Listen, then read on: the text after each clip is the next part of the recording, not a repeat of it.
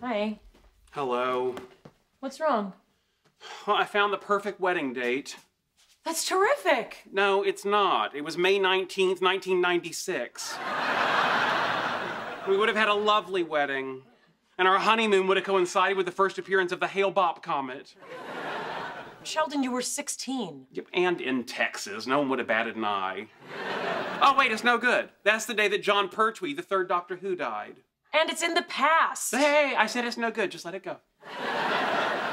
Sheldon, I appreciate you trying to make this wedding perfect, but it's making you miserable. The wedding isn't making me miserable. The calendar is. Why can't there just be one week each month for famous people to die? Well, they've already arranged to die in threes. What more do you want from that? This is so frustrating. Why can't I find the perfect date? I found the perfect way to say hi to cowboys. Just saying, maybe there's a part of you deep down that just wants to relax a little, you know? Kick back, say, whatever. Whatever? I'm sorry, you're really not gonna finish that word?